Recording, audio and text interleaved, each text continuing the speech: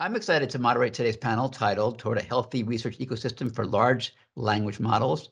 Um, we brought together panelists from industry, academia, and government uh, to discuss the challenges and opportunities that are coming uh, to the fore with large-scale neural language models, uh, including topics in the core science, responsibilities with regards to societal influences, uh, and broadly on fostering a strong research ecosystem. Um, so please welcome our panelists, Ahmed Awadallah, Erwin Gianchandani, Percy Liang, and Saurabh Tiwary. Um, Ahmed uh, is a senior principal research manager in Microsoft Research, leading multidisciplinary efforts at the intersection of machine learning and natural language processing.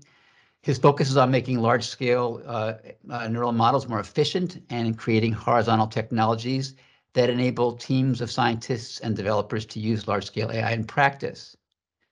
Erwin is uh, assistant director at NSF, where he leads the new and exciting directorate named Technology, Innovation, and Partnerships, referred to fondly, I think, as TIP. Hopefully, the acronym is okay. The top level goals of the directorate has been to advance use-inspired and translational research. Um, Erwin has been very active in at NSF and in the sciences and science, science policy for many years. He served as the inaugural director of the Computing Community Consortium, um, and then encouraged uh, the pursuit of bold, high impact research directions like health information technology and sustainable computing. That's where I actually met uh, Erwin uh, as a CCC committee member. We had we had some intensively productive efforts there, and I've remained impressed by how much Erwin can do in scientific leadership. Uh, Percy Liang is an associate professor of computer science at Stanford. His research aims to make machine learning more robust, fair, and interpretable, and computers easy to communicate with through natural language. Percy is deeply interested in the opportunities and risks associated with foundation models and has truly been a leading spirit and intellect on the topic. Um, after the um, the session, he'll actually be talking about um, some work uh, within the Turing Academic Program uh, projects uh, at Stanford. Saurabh is a corporate vice president leading the Microsoft Turing Group, uh, which he founded in 2015. He's been a passionate and inspirational co-lead on this effort, MS-TAP. Uh, Saurabh's current focus is on scaling deep learning efforts to improve Microsoft products via, via large-scale training, state-of-the-art models for NLP and computer vision, and efficient inferencing across various different hardware architectures and platforms. So there's much to discuss. Uh, let's just get started and dive right in with a few questions, and I'll aim at uh, individuals, but we'll have uh, open discussion as well as some broader questions. Um, so, so Percy, um, uh, there are several universities uh, here today with us at today's workshop. Um, and, and, you and I've discussed this actually just not too long ago. Uh, I'd love you to share your thoughts with the larger group. What do you believe um, uh, how do that the that, that you know how is the academic community uniquely qualified uh, to accomplish great things and uh, innovative work with large scale neural models? Um, you know, think about students and longer term projects and, and dissertations and so on, advising in teams. Uh, let's hear your thoughts about that. Yeah, thanks, Eric. And I just want to uh, express my gratitude for Eric for uh, launching um, this, uh, you know, TAP program. It's been really helpful for our research as for as many in the community as we'll uh, see later. I think, as we all know, these uh, large language models, but more generally foundation models, which includes multimodal models, are are just very impressive. But not only that, they are becoming kind of the, the infrastructure on which um, a lot of application society work. And what has happened is this increasing um, gap between industry and ac academia, which Eric alluded to. And I think one reaction that I often hear in academia is that also almost a sense of you know hopelessness where you know these models are so big that they're inaccessible and academics are you know some turn to other types of problems but but i think this is uh, a missed opportunity because in academia there's such a wide range of different you know ideas and um, and to programs such as this i think serve the important function of actually drawing um, academics into the pertinent problems that are um, part of ai in, in society. Um, so i think this is you know a wonderful kind of step in in that direction. Um, more uh, substantively on the ways that academia could uh, function. One kind of there, there are many things. I'll just list a few. One top level thing is that just the intellectual and uh, disciplinary diversity of academia is is something that is uh, is very very important, especially when studying societal impacts of this technology. I think traditionally, um, you know, companies uh, and and also computer science departments have been focused on more the technical uh, side of these these technologies, but it's uh, it's obvious with all the the issues with bias and toxicity and disinformation that um, a much holi- more holistic view is needed. And what academia offers and what we've been doing at um, the Center for Research on Foundation Models at Stanford um, is drawing in people from all over campus economists, legal scholars, political scientists, social scientists, and to really think about all the different aspects of these technologies. So I think that's one thing that academia um, can do. The second is um, the fact that academia exists as a sort of a third part, neutral third party in some sense, right? Without uh, commercial incentives, I think it allows us to do certain types of work, um, which just can't be done in in industry in the same with the same effect. Um, for example, as I'll uh, tell you later, we've been working on a um, benchmarking project where we're looking at across both the Turing models, but also models from other uh, companies, and um, you know assessing and comparing and contrasting. And I think that the effect of that is would be very different if, for example, Microsoft or Google came out with a paper that said we compared all all the different models. So there's certain types of work that almost have to, by kind of their legitimacy or validity, have to be done, um, you know, outside. Um, uh, maybe a final thing is, um, you know, in academia we often think about kind of the longer term issues, which might not be on the forefront, right? I think if most of what I see uh, in kind of getting these these um, language models and foundation models out right now is dealing with issues of you know toxicity because that's kind of immediate thing. If you're generating hate speech, then um, that's going to not a, be a very good experience. But I think there's many more longer term and more subtle things. For example, you know bias, um, which are hard to hard to measure, and I think a lot of it needs to be. Um, we need a better framework for thinking about these things. But also, we've been looking at um, issues of homogenization, which is more of a um, kind of a holistic what happens when all the models and all the applications are driven from a very small core. Um, and how does um, the use of these models, which could basically mediate all human communication and creation, you know, in a few years, how does that change our you know society in kind of deeper ways? And that's something that I think uh, academia could spend uh, a great deal of time um, kind of thinking about, which isn't really the concern maybe of the next uh, year or so. And, and there's, there's more, but I, I think I'll maybe stop there just to end with some ideas. Well, thanks. And then all, all, provocative and interesting. Erwin, um, an important part of your role at NSF, my point of view, is driving collaboration across the NSF and other government agencies, industry and academia how do you envision these organizations coming together to help foster a stronger AI research ecosystem for the nation? Yeah. Can you hear me okay, Eric? Yeah. A little choppy, okay, but good. Yeah. Okay, I'm working off of a, a, an unfortunate internet connection, but uh, we'll do the best we can. Yeah, so, the, the, um, the, one the one unfortunate part is that um, I think your your video is maybe like minutes uh, behind your your audio, but the audio is great. Yeah. So so maybe I'll just, I'll just, uh, I'll, I'll tell you what, I'll turn off my camera so you can focus on the audio. That's probably a good idea. Um, and minutes was an overstatement. So, it's second, it's seconds. Okay. so, um, so first of all, I think that, uh, so, Eric, thanks for your leadership here and thanks to, to everyone else at Microsoft and throughout the community for that matter who's really been leading on this front. I think this is an incredibly important uh, uh, effort that that that you all really are front and center on. Um, and it's a privilege and a pleasure to be a part of this panel this this morning as well. Um, so in terms of um, my role at NSF, so you're absolutely right. Uh, you know, in the time that I was in my previous role in the computer science director at NSF, and now the time that I've been in this role leading this newly established TIP Technology Innovation and Partnerships Directorate, you know, we've really been trying to emphasize partnerships between industry and academia across the board, um, and government too, for that matter. Uh, and we see it as a means by which we can not only uh, bring a shared set of resources, those could be dollars, those could be test beds, those could be data sets, those could be toolkits, but a shared set of resources to bear, but also help shape sort of the research problems that we're trying to tackle as well. Um, and so I think that in this particular case, uh, these partnerships, as, as Percy was alluding to in his remarks, the partnerships between industry and academia really allow us to be able to open up these models to the research community. And I think that that is so critical, right?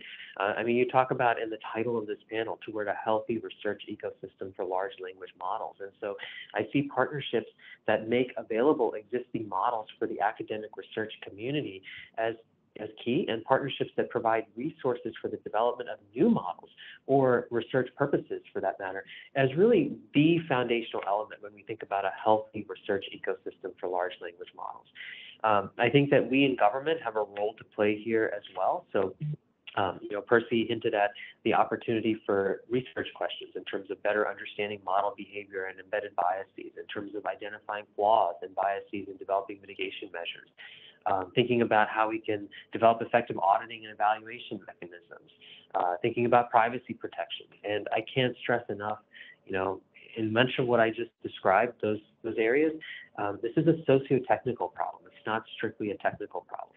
Um, and so, as I think about that, and as I think about the role that government has to play to try to bring academia and industry together, um, you know, I think it's really about a commitment to uh, reach the full breadth of talent across the country, located some in industry, but a lot in academia as well, and bringing folks to the table to being able to conduct the research efforts that I just described. And then there's the workforce piece too. I mean, I think it's really, really important that we train the next generation workforce around um, some of the uh, challenges with large language models. Um, how do you build better large language models in the future? How do you guard against some of the ways in which they can be exploited and so forth? I mean, there's a training aspect here, which academia is, of course, front and center on that I think is really, really important. Um, and maybe one other thing that I'll say that, that you know full well, Eric, and others on this call know too, to some degree. Um, we've been out of the National Science Foundation for the better part of the last year and a half, laying a groundwork to do some of what I just described, some of what you're doing, through something called the National AI Research Resource. Um, so this is a congressionally mandated activity where the idea is what is the national sort of cyber infrastructure. That might be data, that might be computation, that might be test beds, that might be these large language models. What is the national scale cyber infrastructure that we need to stitch together to be able to really democratize access to what you need to be able to fuel AI research of the future? Um, and so I think in many ways, what you're describing here, right, and the efforts being undertaken here, they really allow, they really easily be plugged in to the uh, concept of a national AI research resource where these large language models could become accessible. Um, thinking about this from the from the lens of an ecosystem, I think that the large language models fit into that broader cyber infrastructure that can help fuel the next generation of discovery and innovation in the AI space. Um, and so, um, again, I think that uh, my perspective from a, a, federal government standpoint is that we need to do more of this type of work to be enriching the collaboration and really, again, I'll use a word I used earlier, democratizing access to these types of resources for individuals at all different types of institutions and organizations who have all different types of perspectives. Because as we know, that diversity is so critical at the end of the day when we think about um, how do we uh, become aware of even and then guard against biases yeah. and other kinds of challenges. Let, let me let me push you a bit. Uh, on what I think is a fairly large elephant in the room.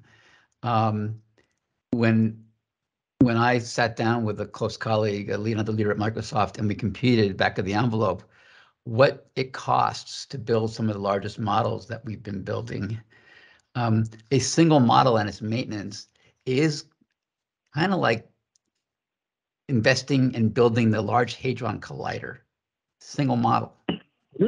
Uh, so, so how d- uh, does our nation realize the scale and the need if we're going to put that national AI resource to really move this forward? Uh, what it's going to take, and what do you see? Like, how can we really make this happen for the the community, and what does it mean in terms of how we even select problems to to, to build and run uh, as a nation? Yeah, so Just, that- and, and that I is- realize, and I realize you'll be speculating because this is a process with the NAIR that's sort of in process with, with the National AI Resource discussion. Yeah, yeah, yeah. Um, no, but I, it's a very fair question, Eric, and and I think that my my answer to that question is, I think that the nation is is getting to a point, and I think that that leaders in Congress and the administration and so forth are getting to the point where there is an appreciation for the importance of this from a national competitiveness, but a national security and a national economic competitiveness standpoint. Uh, I mean, let's just, you know, now I'm going to um, uh, move away from uh, large language models for just a second and give you kind of a, a, a very related uh, anecdote. So, the National Science Foundation, as some of you know, has been around for 70 plus years. Um, Congress authorized it in 1950 via the NSF Act. Um, in that time, we've created directorates, we've transitioned directorates or units within the agency focused on specific topic areas. Um, the, the, there's only one other directorate other than Technology, Innovation, and Partnerships TIP that's been codified in statute, codified in law by Congress. Um, and that's the Education Human Resources Directorate. But a few a few months ago, in August, the president signed a bill that essentially authorized NSF to establish this Directorate for Technology, Innovation, and Partnerships, and it authorized Congress. Now, authorizing isn't the same thing, Eric, to your point, as appropriations, as actual money, but it authorized Congress to come back around and give to the foundation $36 billion more for R&D over the next five years, right? And so I use that. Why do I say that? I'm not trying to brag about the new directorate. I'm, I'm actually make, trying to make the point that I think we're at a stage where our congressional leaders, our political leaders, appreciate that this is a national, you know, investment in AI, investments in key technology areas, and the ecosystem that we're trying to create, and the values that we bring to the table as a nation in the creation of that ecosystem and the development of new research outputs. That in fact that actually is key to national competitiveness. So. I can't speak to a large hadron collider, but I can tell you that I think there's a growing appetite for serious investment in the R&D and the infrastructure that it's going to take to support that R&D and the workforce development. But to your point, you're right. Time will tell. We're going to see how the next few months pan out. The NAIR task force, the task force charged by Congress with developing a plan for this AI resource that would be integ- integrative of the large language model community, I hope. Um, the final report is due in December, um, and we will see what the reception to that final report is. I will tell you the reception for the interim report in uh, June, which spoke to the need for a NAIR, the how and the and the what, was actually very, very favorable. Yeah, it, it hit me after looking at the interim report that I, I, I just wondered if industry might put a couple of like budget numbers in as examples uh, to help Congress think this through. But anyway, but with, I, I'm very hopeful. Thanks for your for your uh, frank answers and and insightful uh, uh, guidance on moving forward. Let me let me move to Saurabh. But Saurabh, you've been like I, I would say the the key spirit behind the direction and the production of Microsoft's largest um, uh, neural models. What must we consider today, um, from your point of view, in research and engineering, to prepare for what's coming with uh, our sense for the increasing scale of the models? And that's you know the idea that you know, scale is not going to go away. This is going to be a continuing continuing march towards bigger scale. I think, unless there's some uh, surprising breakthrough in, at this point. Yeah, I mean, the way I think about it is, uh, and I think you already, by the way, let me start with just thanking all the participants over here. Like, uh, I think, and also to you, Eric, for kicking off this program. Uh, when we started it in very early days, we weren't sure like how much will be the adoption, etc., where the trends will hold and, and so on. But it seems like it is becoming more and more like pertinent that what we kicked off is kind of like relevant in this space. Um, if we have to extrapolate into the future, kind of my feeling is that, um, and as Percy mentioned, that there is a worry in the academic community that like this is only an industrial kind of like an arms race and maybe academia doesn't have a role to play. I feel it may go along the similar direction as how the semiconductor and fab business has gone, meaning if you think about today, all the um, ecosystem relating to e-commerce and connectivity and communication, etc. It's all driven by semiconductors, right?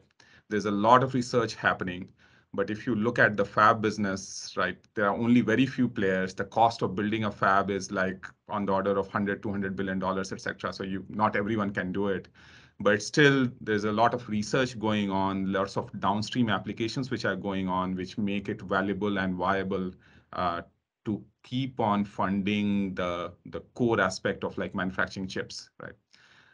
I feel the the large scale models may go along that same way. I mean, already we are kind of along those trend lines, and as you said, this uh, the LHC and the cost of, of spending uh, dollars on the order of LHC, uh, which is there. Uh, but I think this may continue. Obviously, uh, as more and more people contribute into this area, there is a lot of efficiency wins. Uh, what if you if I just continue taking my semiconductor analogy, right? Um, if people had extrapolated from like there were actually uh, even conferences where they were predicting that okay the chip may have so much compressed power that it may the temperature may rise beyond the surface of surface temperature of the sun and so on right but there's a lot of uh, uh, insights and technical innovation which came in why chips are still being manufactured. The Moore's law is kind of stalling, but still kind of like progressing, maybe at a slower rate, uh, etc. Uh, so I, th I think on the on the model side as well, uh, if you talk today, there are lots of limitations which may come in, uh, cost being one, data being another one, uh, capabilities, etc. Do things saturate at some point or not, and, and those type of things. But I think the, the research community um, if they participate, and I think there is a real need for participation, I think this push and this new capabilities which are being powered by these uh, large scale uh, deep learning models, right? I think that progress will probably continue. And, and I think it needs a lot more partnerships and, and participation uh, as well in this direction. So I'm, I'm pretty bullish in this, this area. We, we have to be. Yeah. I think there'll be some interesting magic coming out of these models, even even more than we've seen so far as we continue to push. So, so your team now uh, uh, co-manages the MSTAP efforts and has played a major role, I would say, in, in the success of the program and getting it off the ground. What, what's um, delighted you the most about the program? What surprised you about it now that we're moving into the second year? Um, what would you say? You know, what have been the successes and challenges? And I guess as part of that, just a bigger question: What do you want to see as we go into phase three, moving forward? So uh, I would say, I mean, uh, one of the one of the things which has surprised me is the wider adoption of the program. If you remember, Eric, we came out with the call for proposal or invitation for proposal, not really call for proposal, uh, because we wanted to uh, target them. Uh, but as we have talked to more and more universities, there's a lot of growing interest uh, in in this program. Uh, as well as during the phase one and phase two, the part program itself has grown. Um, I think even the internal company support uh, relating to this has been uh, pretty decent, I would say. It was, it was, Um, it was great to see, uh, we, I I don't know, Saurabh didn't mention this, but at a briefing uh, that's, that, that Saurabh gave to our senior leadership, uh, Satya paused and he said, let me, let me hear more about this program, our CEO. And, and uh, Saurabh did a great job of presenting it and it was very exciting to the, to the Microsoft leadership. Yeah, so so all of those have been pretty exciting. Also, obviously, the work that's why we kicked off the program. So the the research work which is happening uh, under the program is very exciting. There are uh, quite a few papers which are coming up as uh, we are maturing. Uh, in terms of uh, challenges, obviously. Uh, a lot of the liaison work which happens is a volunteer-based effort uh, for people who don't re- realize it. I mean, people who are at the liaison also have their day jobs, um, and as part of that, um, like research commu- community is fairly demanding, right? Uh, it's not uh, like here is an API, go ahead, right? There is a lot of requests about like, can we do this? Can we do that? Uh, and and things like that. Um, and we have to learn and grow and kind of like build what are the generic capabilities which can be uh, offered to many many uh, teams. Um, so those type of things we have been kind of like developing as we go along, as happens with any kind of like uh, research engage engagement. Uh, and some of you who are uh, in this call probably are, are part of and have uh, have felt that. we are also kind of like maturing, but I would say when we started, it was well we have some models and how people would be using them, right? But there are lots of additional capabilities and resilience and stability and, and, and those type of things that we have to uh, have had to work through. I would say uh, for phase three, um, there are few uh, axes that I think we would like to push on. Um, one is more towards broadening the program. Uh, obviously, it is an international program right now, but making it like much more broader in terms of like various areas or regions in the world which are not represented today uh, as, as, as participants in the program, right? So we want to uh, extend it uh, further. there are certain areas where we would like to encourage um, research. It doesn't mean that those areas don't have research today, uh, but uh, within the context of the program itself. So, for example, uh, multilinguality is an is an area um, where relatively, I would say, there could be a lot more progress which could happen. Uh, I mean, one of the key attributes that I feel uh, with deep learning and AI is that it can kind of like we have this phrase, right, that the future is here. It's just that even it's not evenly distributed, right? Something like that. I think deep learning can make it evenly distributed uh, to a certain extent. And the capabilities are there. There isn't an argument earlier. The argument used to be cost and, and kind of like ROI kind of kind of things. I think there is uh, research which could really push along that particular axis. Uh, the other one is that uh, even though our our generative model, the the TNLG V2, has been the uh, the most used model as part of the program, like up to uh, I think approximately 70% of our university collaborators uh, leverage that.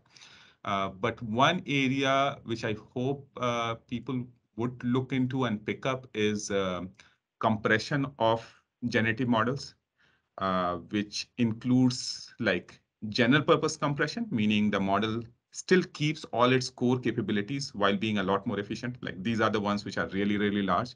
And the other one is uh, along the axis of task specific capabilities, right?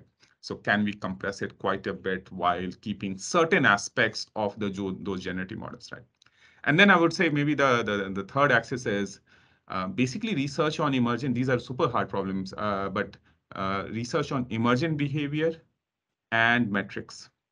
I know Percy's team has been uh, working on metrics, but like emergent behavior is an axis which hasn't been thought about in classical machine learning because those things haven't really shown up.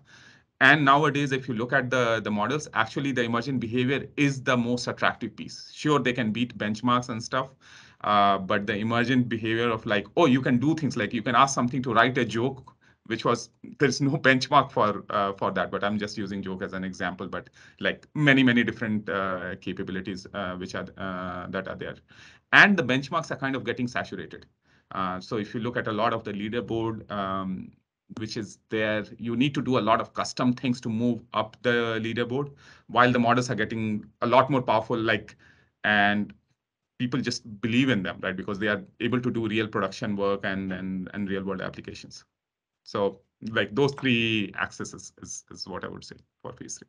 Yeah, I, I, I thank you for your, all your insights. I have to say that as you were talking, uh, I love this notion of, and I think it's really critically important, of jumping from uh, metrics which are almost by definition designed to understand the previous version of sets of capabilities that we understand well to emergent phenomena where you see a qualitative jump in capabilities that you don't even have metrics for because you don't haven't thought deeply about it and you don't have a way of describing clearly semantically what the jump is exactly.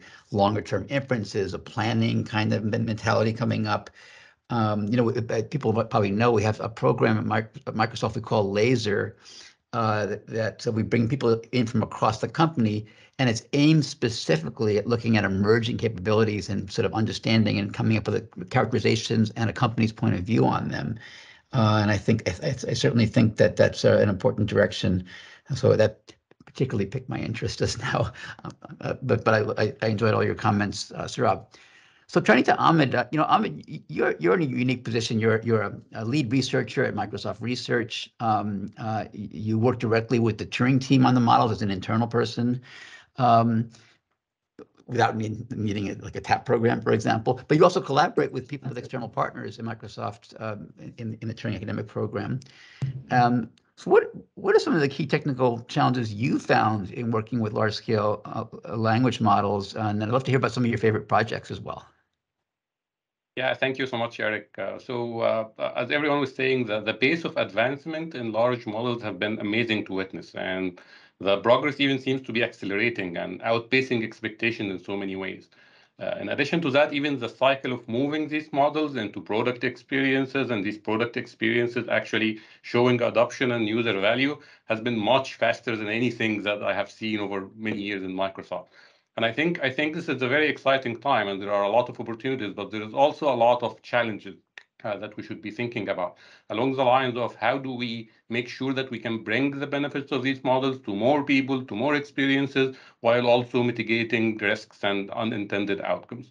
Uh, the point around emergence that, that Saurabh was referring to is actually one of the most exciting things to think about right now, uh, both from the perspective of emergent abilities and emergent risks. Uh, how, how, do you actually identify these emergent abilities? How do you measure these emergent abilities? But also, if the model is having emergent behavior, uh, that will also mean that it can be used in ways that you did not expect. Uh, that also means that it will come up with risks that you don't really see. And when you can't see and you can't measure uh, something, it's pretty hard to, to mitigate it. Uh, in terms of uh, some of the technical challenges that I am personally very passionate about, uh, there are a couple actually. One of them is, is efficiency. Uh, I'm, I'm always a big fan of any work that works in the efficiency space along compression and other uh, directions as well. But I think we, we can and we should uh, think about ways of getting more out of these models with less cost and less compute. Uh, the compression is definitely one of the ways to get there, but there are also other things. Like right now, when you think about these models, we apply the full computational power of the model every time, for every task, for every input, for every scenario. Uh, could there be more ways that are more adaptive, where we can actually adaptively decide how much compute are we spending for a given task, for a given input, so that we can bring the cost down and increase the adoption of these models, brings them to more people more often.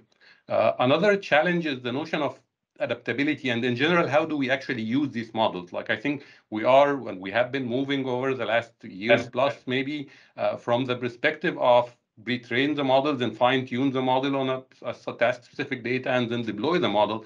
Now we are thinking of the models as the models can do so many tasks out of the box without even any fine tuning. And that opens the door for so many more scenarios. But at the same time, it uh, actually calls for more and more work on thinking about how do we adapt these models, how we adapt them to uh, personal data, personal knowledge, uh, how do we uh, adapt them over time, uh, how do we continually to learn and improve with the model especially if we start think of it as a foundational model, maybe we don't want to touch the foundation layer, but we want to build on top of that. Uh, such that we can adapt and improve the model over time without having to retrain uh, the underlying foundational model every time. Uh, the, the last area that I'm uh, really excited about is that we uh, the, the, type of tasks and experiences that the models are enabling right now are moving beyond just classification and ranking and recommendation uh, to areas around creation and generation. And, and with creation, it will always be a co-creation problem where the human and the model are working together. And I think this notion of making the models more collaborative, figuring out the best ways for the human and the model uh, to work together, we are seeing a lot of advances there even in the way the models are being trained and used uh, by instructions and prompts. But I think there's a lot more that we can do there. And specifically also thinking about how can we redesign the models uh, in ways that make them more collaborative, more interactive uh, by nature. Uh, in, in terms of the favorite applications or favorite projects, uh, I think uh, one of the most exciting things I have seen actually uh, lately and got the chance to do a little bit of work with is the Copilot project, the GitHub Copilot project. And I'm a big fan of Copilot. And like many others, uh, at, at, the beginning when I first heard about it, I was actually a bit skeptical uh, because I have seen a lot of work on natural language to code. And I understood from all that work how hard the problem is. And then uh, with Copilot, uh, it has been doing an amazing job. And not only that, it's doing that with multiple programming languages. It's actually the, the, the, the base it moved from research into production into adoption has been amazing uh, to witness. And I think it will really open the door to so many other applications and uh, models assisting humans in writing codes and other types of engineering tasks. And also, it has been amazing to see how much it has been improving over time. Like since it it uh, went out in preview and then went out in GA, there has been so much fast iteration on making the models better and better by understanding how uh, our pe people are actually using it and leveraging that information uh, in order to um, in order to improve the model. Well, thank, thanks, Ahmed. Yeah, very interesting insights. Let me, um, uh, we have a few minutes left. Let's open it up to everybody now and just throw, throw out a couple questions. I'm going to share a, a, a, one of my curiosities, and I'd love to hear your your insights about this and your speculations. I think we'll have to be speculations at this point. Um, will we see breakthroughs in our core uh, interests and goals in computational intelligence coming largely via scale? Just make things bigger, make things bigger and bigger uh, and then watch for emergence popping out of the, the, the bigness in magical ways that we might, as humans might not even understand. Uh, the, the models through the optimization processes are discovering with scale. Or do we need breakthroughs at foundations with architecture, neural architecture search, you know, for example, developing new fundamental understandings to guide where we go, besides just, you know, turning bigger and bigger cranks? Uh, thoughts from anybody, and just feel free to just jump in. Uh, and if, if if more than one jump in, we'll use hands. I can maybe start with that. Yeah, go go for it, Percy. Scale has always been a thing that people have talked about, right? In the in the you know uh, before it was uh, you know all you need is nearest neighbors and do if you have enough data, and now it's all you need is attention if you have enough data. So I think we've kind of seen this before. And what happens at is uh, at each of these transitions, it's suddenly people realize that scale gives you a lift, but you know we're not done um, yet. I think you get a lot farther with uh, this latest generation of models than you did with nearest neighbors, obviously. So no matter where you are, scale definitely will increase. Uh, um, I, I, think there's many other dimensions. The importance of data is something that is extremely important. As uh, you know, everyone I talk to sort of doesn't really I mean, everyone who trains one of these models knows the importance of this, but it's not really talked about uh, the data quality, what you train on. Um, also, uh, if you're doing instruction tuning, learning from human preferences, that can help a lot with the quality of the model, as we've seen. Um, you know, the, the for example, before we thought OpenAI had these scaling laws and you need to just go bigger. And then DeepMind Chinchilla paper shows that actually, well, you can have a much smaller model. Um, uh, their 60 billion um, parameter model actually outperforms their a model that was four times larger by just having more data. And so, was, and you know, one of the other things that uh, one of my colleagues, uh, Chris Ré, has been doing is you know the prompt decomposition, where he's been able to show that you know with a six billion parameter model, if you prompt it in the right way, you can you know compete with even a 175 billion parameter model. So I think the the you know the things yeah, I think two years ago there was sort of this emphasis on scale, scale, scale, but I think um, people realize that there are many, many dimensions that uh, need to be explored. And, and this is really exciting from a research perspective. It would be very boring from a research perspective. maybe from an engineering perspective, maybe that's a blessing or something. But from a research perspective, it's actually really exhilarating that there's so many dimensions. But I think scale is very important for one reason is that if you work at smaller scales, you want to make sure you're relevant. And so what I always think about every day is, you know, is the research I'm doing, is it going to be obviated by GPT-4 when it comes out? Right. And there's many things you can do. Like you can prompt hack and do all these things that it just won't matter for the next generation models. So that's I think the important why this this program and having access to large models is important so that you are aware of where the frontier is and make intelligent decisions about what to work on that aren't going to be obviated by scale. But there's many other directions that um, won't be.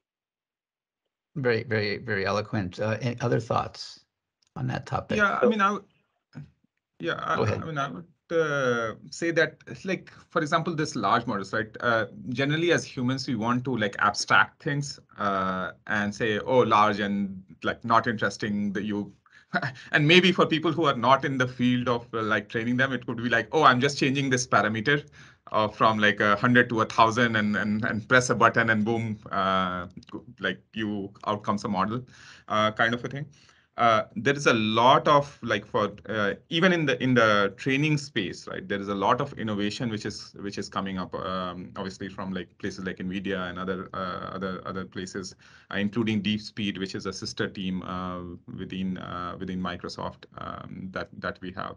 Um, so in order to even make some of these things feasible i think there is a lot of research etc which is happening. Now one one thing which scale offers, which is this predictability uh, that, oh, yes, there is a lot of uncertainty, but if we do this, generally the quality will improve. And that's why like industry is kind of leveraging it because industry wants to de-risk a lot of the research aspects, etc. So they are like, oh, at least if we push along this, there is some predictable level of like quality improvements or new capabilities, etc. that might show up. But at some point, these will start hitting saturation limits. And as Percy was referring to, like data is becoming a lot more critical. I don't think you can just like collect like scavenge from the internet and put something in and and and and it will be the model will be as good or competitive as as things which are even out there or things which are happening uh, as well so i think there is a lot of research and innovation which will which needs to happen if we were to keep on pushing this front frontier I don't think just uh, like the equivalent of changing a parameter is going to address uh, that particular uh, problem. And as I was saying, like if in order to make this accessible across the world, I don't think the the the scale at which these models are right, they would be you would be able to run inference for the billions of people to provide the benefits that we have today, right? So there is that access as well, which is really critical to think about. And when you say the last part, Saurabh, for, for the last, uh, oh, uh, Erwin, you have a comment? Uh, well, I was just going to very quickly weigh in and, and maybe. Sure, and I'd love to hear from you. I'd love to hear from you. Um, so, so I think what we're all saying a little bit is there's a degree of balance that's required here as we think about um, where intelligence is going to come from in the future, right? So, and as a funder, I see that balance sort of on a day-to-day basis. You know, there, there's the fundamental research investment that one needs to make that, in some sense, can give rise to the next generations of scale down the road. So, I think that um, the only point that I'll make very briefly is balance is really key, and that balance is also key, again, not just from a research standpoint in terms of the new AI innovations, but also in terms of from a workforce standpoint, how do we train our students to be thinking through both the dimension of fundamental research and how you scale can also be helpful in this context. Maybe to add a quick comment to, to yeah, please, to please, please, I think please, Ahmed, yeah.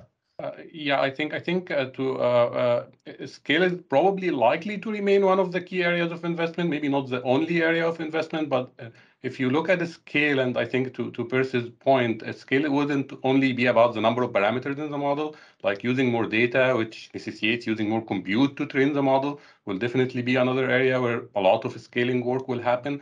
And also the shift toward building sparse model where you can actually increase the size of the model significantly without uh, increasing the amount of uh, compute needed to train it. Uh, that sparsity is likely to be part of the story around scale.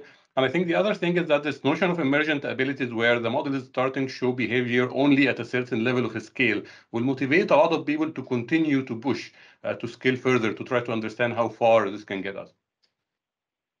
And while we're on that topic, um, and we, are coming to the close of our session, um, and I, I, thought I would just ask, will we see emergence showing up? Uh, and we have, we can go back in history and look, look at various emergent phenomena.